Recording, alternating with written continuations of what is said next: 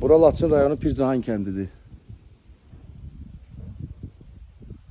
Bu isə mənim baba yurdumdur. Atam bu evdə dünyaya göz açıb, həddi buluğa çatıb. Hayf ki hal-hazırda gəlib bunu görürük, amma bu günlərimizə də şükür. Allah şəhidlərimizə rəhmət eləsin.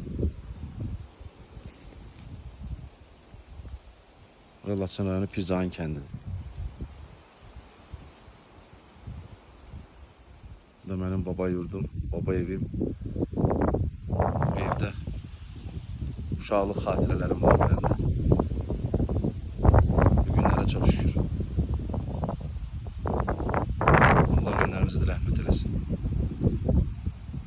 Bu günləri görməyə olmayanlarımıza rəhmət eləsin.